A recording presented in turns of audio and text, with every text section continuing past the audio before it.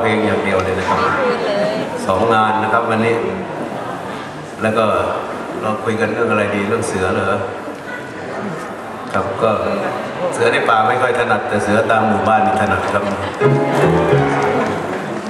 เสือกินปลามั่งนะครับ เสือผู้หญิงมั่งนะครับ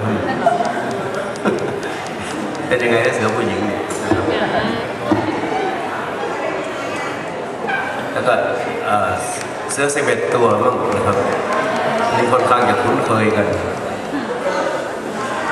บางคนก็บอกว่าตัวเองเป็นเสือตัวที่11นะครับแต่คงสิบกว่าปีแต่ก็มีซีดีออกใหม่คนหนึ่ง บอกว่าเสือตัวที่ 12 ว่าไปโน่นนี่เลยเรื่องเสือที่มีกล่าวขวัญกันมากมายพี่น้องเคยเห็นเสือไหมครับ เห็นเสือป่าเสือในป่า เป็นสัตว์ที่หายากนะครับ เราเคยเห็นแต่ในหนังในสารคดีนะครับ แต่บ้านเราเมืองเรานี่นะครับ ดินแดนของเสือ ที่เขาใหญ่ เราเพิ่งเข้าใจว่าเสือนั้นมันมันอยู่เป็นครอบครัวนะครับ ก็ว่าไปแล้วก็เหมือนแมวนะครับ แต่เป็นแมวขนาดใหญ่ถ้าแมวมันกินหนู เสือก็กินคนนะครับ ถึงขนาดนั้น กินหมู กินสัตว์เล็กสัตว์น้อยถ้าคนไปทำให้มันโกรธมันก็กิน ถ้าคนไม่ทำร้ายเสือก็ไม่ทำร้ายคนนะครับ ดินแดนแห่งนครสวรรค์แถบป่าแถบชายแดนไม่ว่าจะเป็นเอ่อป่าแม่วงหรือว่าป่าแม่เรวาหรือว่าป่าห้วยขาแท่งยันมายาวเหยียดนะครับมีไอ้สามขาตามตะเข็บชายแดน เป็นดินแดนเก่าที่เขาล่องไพรกันในนิยายตั้งแต่สมัย 40 กว่าปีที่แล้วมีนิยายเรื่องล่องไพรเขียนขึ้นโดยน้อยอินทนนท์ต่อมาก็มีนิยายเรื่องเพชรพระอุมา บรรยากาศฉากแถวนี้ทั้งนั้นนะครับเวลาพระเอกเขาจะเดินเข้าป่าพระดงก็มาแถวนี้แหละครับเอ่ออะไรศาลเจ้า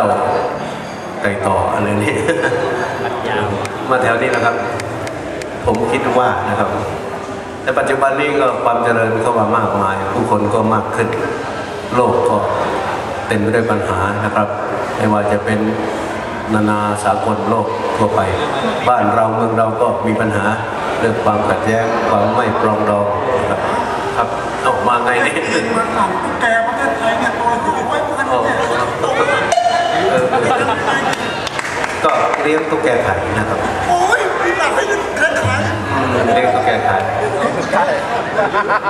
จิ้งหรีดเดี๋ยวนี้เขาก็เลี้ยงแล้วเลี้ยงเป็นกระป๋องนะส่งออกนอกเนี่ยบ้านเราเมืองเรามันน่าอยู่อย่างนี้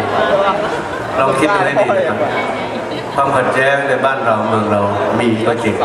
ความคิดแตกต่างมีก็จริง แต่เราก็ดำรงอยู่ได้ไม่เชื่อลองไปอยู่ที่ลิเบียดูสิครับลิเบียในกระสุนจริงนะครับระเบิดจริง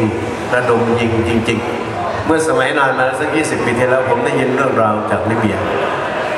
คนไทยที่บ้านผมคนอีสานนะครับ ไปทำงานลิเบียทำงานมากมายหลายคน ไปทำอะไรรู้ไหมครับ อันนี้เรื่องจริงก่อนสงครามอีกนะครับ ก่อนที่กันดาฟีจะสั่งยิงทำอาวุธสารเคมีในโรงงาน คือผู้นำคนนี้ชอบทำอาวุธสงคราม แล้วก็ชอบทำระเบิดแบบไอชอบทำโรงงานแบบสารเคมี สารเคมีที่เป็นอาวุธกัมมันตภาพรังสี ปรากฏว่าคนบ้านผมเข้าไปในกลับมาบ้านล้มป่วยกัน เพราะว่าคนอีสานสมัยนู้นก็ยังไม่รู้เรื่องราวของกัมมันตภาพ หรือว่ามลภาวะมลพิษอะไรทำนองนี้จากพวกสาร